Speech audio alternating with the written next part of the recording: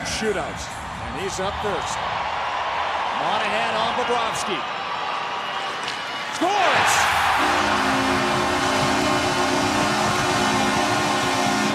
As he works in on Rittich. Huber, oh!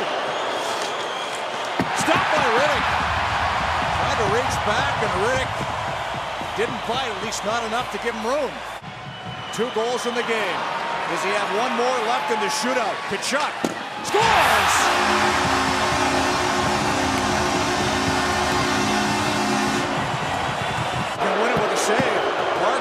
Zigzagging slowly in on Rittich.